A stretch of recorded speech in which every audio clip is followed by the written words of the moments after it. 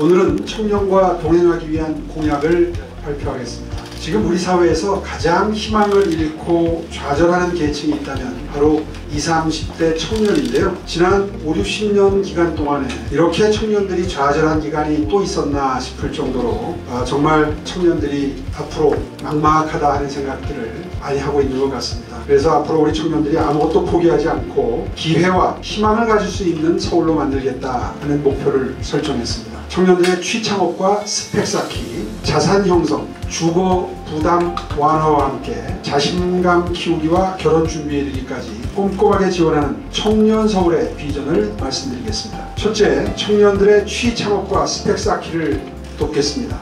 먼저 4차 산업 전문 인재를 양성하는 청년 취업 자원학교를 확대하겠습니다. 또 서울시가 청년 인턴을 직접 고용해서 청년들이 다양한 공공직무를 경험 할 수 있도록 해서 스펙을 쌓아드리겠습니다. 둘째, 차곡차곡 자산 형성 정책도 시행하겠습니다. 청년들이 체계적으로 종잣돈을 마련할 수 있도록 돕는 서울 영테크를 더욱 활성화하겠습니다. 셋째, 내 집 마련 연습하기도 지원하겠습니다. MZ세대의 주거 수요를 반영하고 역세권 청년주택 사업의 한계를 보완한 새로운 청년주거 모델인 2030 스마트 홈 사업으로 질적으로 업그레이드합니다. 넷째, 서울 청년들의 마음 건강을 살피고 자신감을 키우는 정책도 시행하겠습니다. 1대1 맞춤형 상담으로 청년의 우울과 고립감을 해소할 수 있도록 돕는 서울형 청년 마음 건강 지원 대상을 2023년까지 만 명으로 늘리겠습니다. 다섯째, 서울 청년들의 결혼도 조금은 쉽게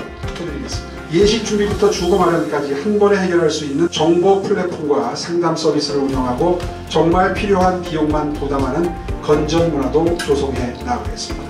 아울러 서울시 공공공간을 시민 모두의 예식장이 될 수 있도록 환경을 조성해서 적은 비용으로 좋은 장소에서 결혼식을 치를 수 있도록 하겠습니다. 청년은 서울의 가장 소중한 자산입니다. 앞으로 우리 서울의 청년들이 아무것도 포기하지 않는 세대가 될 수 있도록 청년들이 미래를 향한 여정에서 좌절하지 않도록 서울시가 든든한 동반자가 되어 드리겠다고 약속드리겠습니다.